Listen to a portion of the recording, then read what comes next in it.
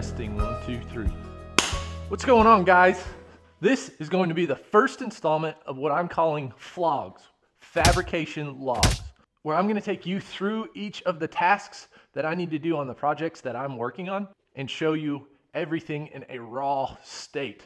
So today we're gonna be making these little hex features out of one inch flat bar pieces that are a quarter inch thick that I'm gonna cut up to the correct angles on the ends to make a hex shape just like this. Now what I'm using this for is a swing out stool on the side of my welding table and it is gonna have uh, one pretty large cross member here that's gonna be made out of I think one and a half by two inch tubing. I'm gonna have a flat bar on this side and then I'm gonna have this hex pattern made out of these guys all the way out and then I'm going to have an Acme thread with a large nut here and my seat that will adjust up and down.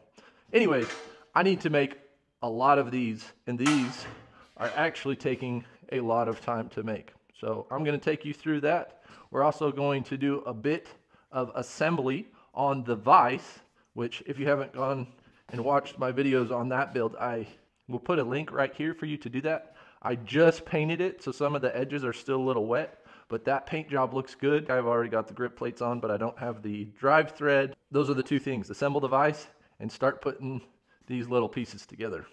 So I'm gonna take you along, let's go. All right, so here are our pieces. We should have six of them, three and three, we're good to go. So each of these edges needs to have a 30 degree uh, to make a point on this side and the total length needs to be 1.87. So I have some calipers. I'm gonna measure those out and do a little bit of grinding. But first, safety guys, gotta put the respirator on.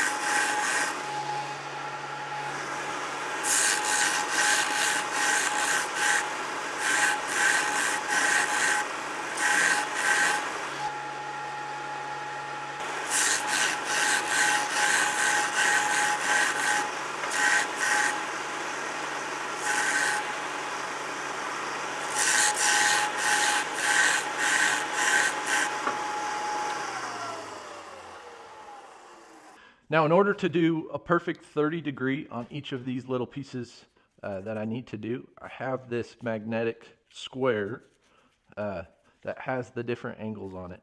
So this face, excuse me, this face and this face together equal 30 degrees, as you can see right there. So what I do is I put that uh, flat bar, piece of flat bar there, and then I slide this bottom edge along my um, stand over here.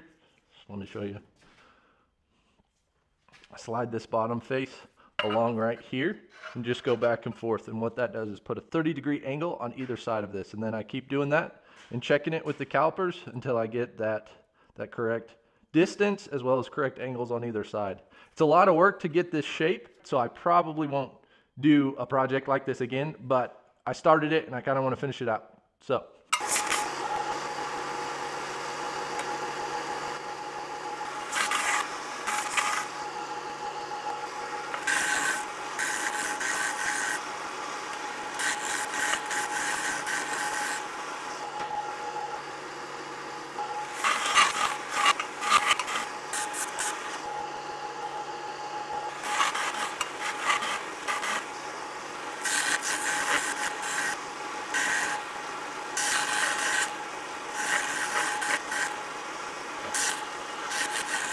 So I went ahead and sketched this up on a computer and you can see the general outline of the shape that I'm trying to hold for my pattern. Uh, you can see it's got six sides uh, at two inches, which I've, I've trimmed these down to 1.89 inches uh, so they fit on my pattern. Uh, they're each a quarter inch thick. The angle between them is 120 degrees. So what that results in is a needed 30 degrees. You can kind of see it on this single uh, form that I, I printed off 30 degrees on each corner, creating a, a, knife edge at the center of each of those. That allows me to tack them together with a nice tight fit on the inside here, uh, and then it leaves open a 120 degree opening on the outside that I can grab another piece. Let me go grab one. That I'm going to be able to pull in and get a nice tight fit right here just like that to create my pattern. So to connect them, it's going to essentially look something like, and then it'll be another one on top. I'm going to have to trim this one down to fit just right and then put those 30 degrees on this. But that's essentially what it's going to look like to make that pattern for this swing out stool.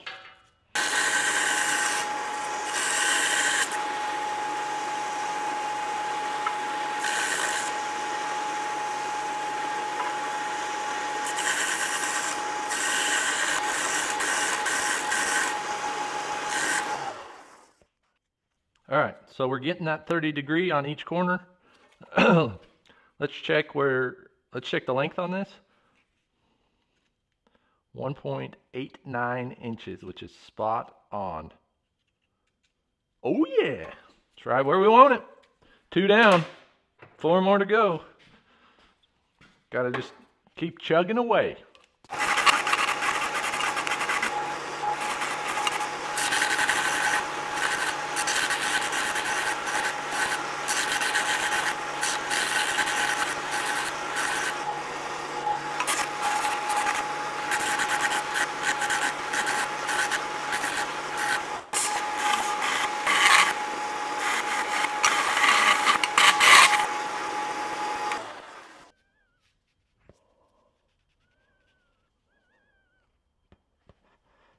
You know, sometimes I, I find this type of work where it's just the same task kind of over and over, but you can chip away at it and see the progress. Extremely satisfying. I don't know what it is. All right, let's whittle this one down.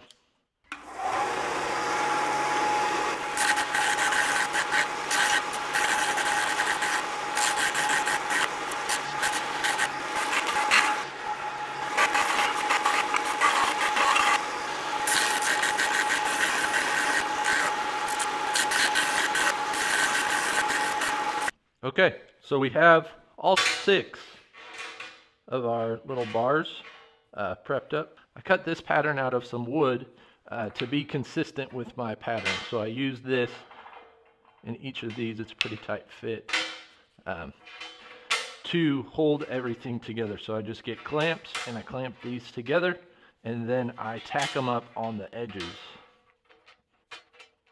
I'm on the struggle bus right now. Anyways, let's grab some clamps and clamp them up. Clamp them up, clamp them up.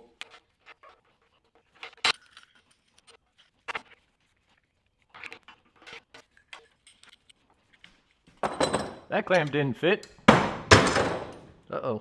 All right. So we got to use this bigger clamp.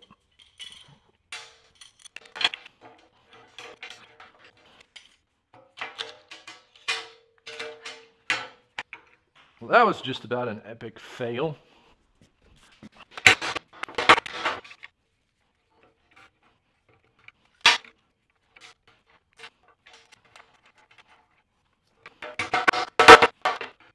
All right, there you go. Now I'll go ahead and tack it at each of the corners on both sides, on the back side too. Uh, and then we'll get this thing ground up and we'll have a third one. And hopefully we'll just keep continuing along to make up this whole pattern here. Uh, it's a lot of work to make it look like this. I wouldn't do it again, but that's how it goes. All right, so here is the vise that I just built and uh, finished the paint job on. I just put these jaws in here, so I'm not gonna go back and, and re-put those on. We'll tighten those up, uh, and then we'll also take this front plate off. Uh, we'll grease up the uh, threads on the drive thread, as well as the, the main drive nut, and then we'll put the thrust bearings, the, the nut that holds the inside spring on to take out all the slop, and then bolt this all up together. And then we can bolt this to the table, and it should be usable at that point, ready to rock and roll. Let's get to it.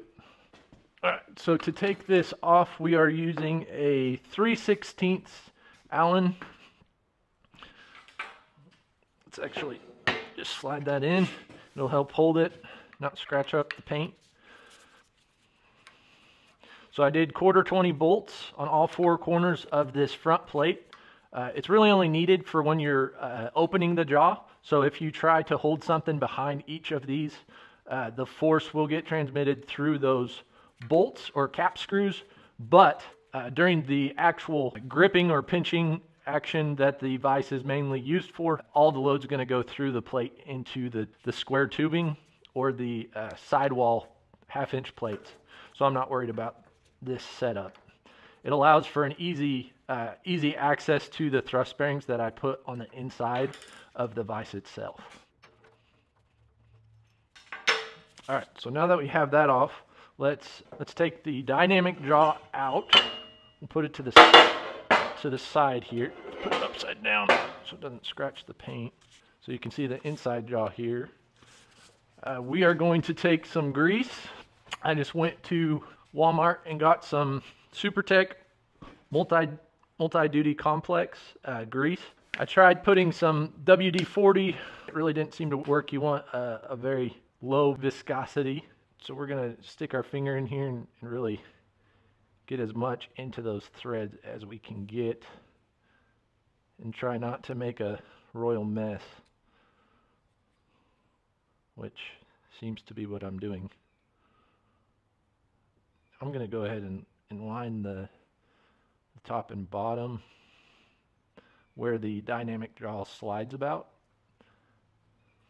Really make for a smooth surface in there. I'll also grease this up once we have the thrust bearing and the nut and everything on, installed on this end. Then I'll go ahead and put the grease on the drive thread. Throw these gloves away. All right. Let me throw a few more black gloves on.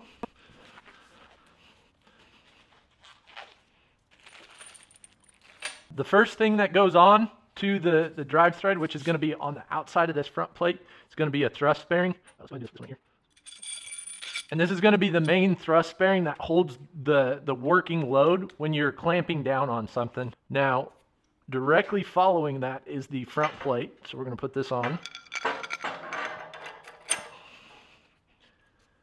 take these cap screws out.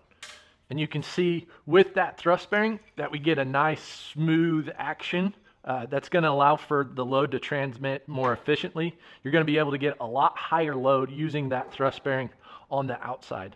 Now, the next thing is this inside thrust bearing. And the only reason that I'm using that on the inside is to get smooth action coming out away when you're opening up the jaws. You, you can get a little bit of a, a, sticky point if it's super bogged down or super tight. And so I just wanted to add this thrust bearing for that smooth action or smooth operation. So then I have this spring that goes just on the backside of that inner thrust washer or thrust bearing, excuse me. And that's going to uh, get compressed down slightly allow for a, a really tight fit and it takes out all the slop of the system. So when you go up and you hold the handle of this vise and give it a wiggle, it's going to have very little slop to it because of that spring. Now to speed this along, because I designed this vise to be operated by a half inch drive, uh, I can actually use an impact or a drill to make this process super quick. So I can just pull that nut all the way down. Careful not to get hit by the, the spinning front plate. Again, you can see that front plate's very smooth, smooth acting. Trying to find the hole where our threads go through. All right, I actually think I have my bolt backwards. My nut backwards, not my bolt. All right, and then we use a cotter pin which I thought I had right here. There it is. So I have to line the drilled out hole of my nut, line that up with the drilled out hole in the, looks like we need to go one more. There we go.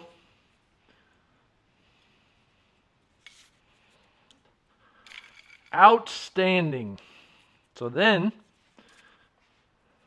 Forgot we were going to put some grease on the end of this.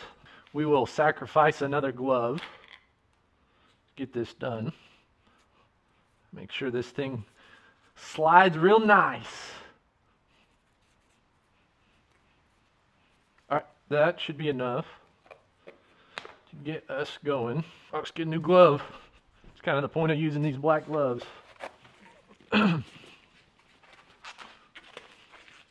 So again, this is super nice that I have this front plate um, being able to remove because I can open this up again and again to get access to this if I need to change the thrust bearing or need, I need to adjust something a little bit differently. Uh, it's really easy to get that done. So we're going to take this dynamic jaw. Let's go ahead and wipe off our paint here. Got a little crazy with the grease. It's a shop, I know, but need it to look nice for the video. All right, so we move that back and forth. Nice and smooth. Now for the drive thread.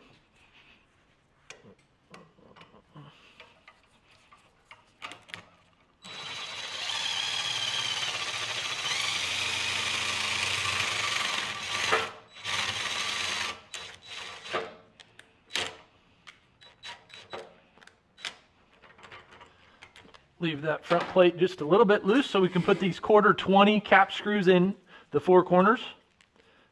I really like the design of this vise uh, with this removable front plate. It really makes things quite convenient uh, to set everything up.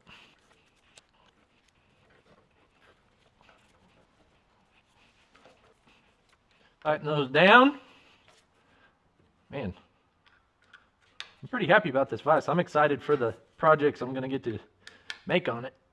Tighten those down. Let's tighten our drive thread. Retorque our front plate bolts. Make sure they're not going to come out. There we go. Always put your tools away. All right. See if I can operate it by hand. Oh yeah. Let's let's open it and close it a few times. All right. All right. The handle on. Operate it by hand a few times. Make sure everything's feeling good. Feeling good in the neighborhood.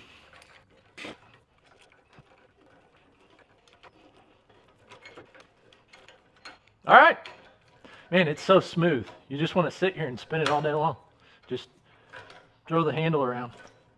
Now, I have these four holes in my welding table. Oh, here's a tip for anybody who's making holes in a welding table for their vise. I am right-handed. I went through and I tried to think through where I wanted this vise. And based off of my my layout of the shop, I thought it would be most efficient to put it here on the left-hand side of this side of the table well, uh, having worked with this for, I don't know, a couple of days before I painted it, I realized it really would be better because I'm right-handed to have the vise on the right-hand side of the table. It's kind of an oversight on my part. So anybody putting their vise on their table, make sure and think through if you're right or left-handed. If you're right-handed, I suggest putting it on the right-hand side. All right, so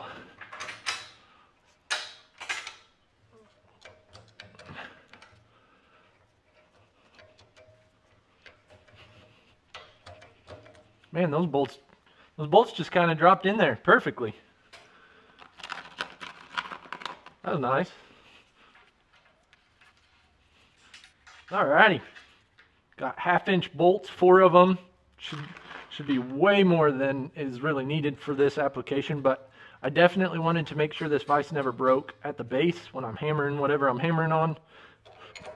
And I don't think I have to worry about that now, do I? All right, let's get you a little closer in on this. Let's open and close it a few times.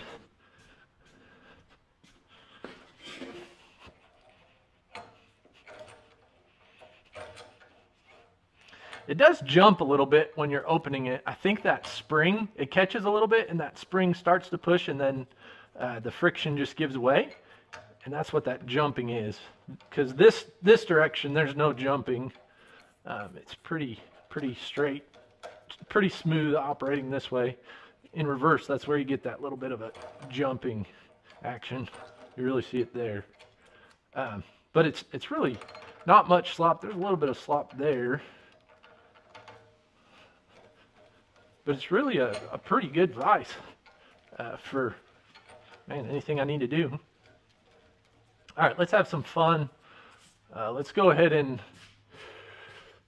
grab onto something. Let's say we need to clean up the edge. Let's clean up the edge of this little little piece here with a file. Yeah, that's solid.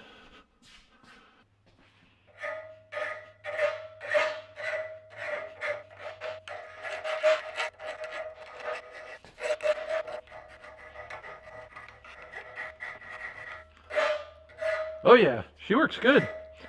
So I think I think she's assembled. Um, maybe later on we'll uh, make that spring a little bit tighter so it doesn't have that jumping action when you're opening it up. But she's she's holding stuff down exactly how I want her to, rigid to the table. Uh, I think we're good to go. Thanks for sticking with me. Uh, I do have this vise build on my channel, so go to my main channel and, and watch that uh, if you want to be uh, follow along with how I built this vise out and every step along the way. I have the table build on my channel as well, so go check that one out uh, so you can see how I did those two. I'm still in the process of finishing out my swing out stool. Uh, I'll be posting that here in the next couple of weeks, so stay tuned to that. If you want to see more content like this and some of my other project builds, go ahead and hit that subscribe button and make sure to turn on notifications so you get notified when I come out with a new video. I hope you enjoyed this flog, fabrication log. I plan to do much more. Not, not anything grand. We got to put our vise finally together after getting painted, which that was pretty cool. Uh, the stool is still in progress, so we didn't finish that out. But hey, you don't finish projects every single day. It takes time. So hope you guys liked it. Stay tuned for the next flog. Peace.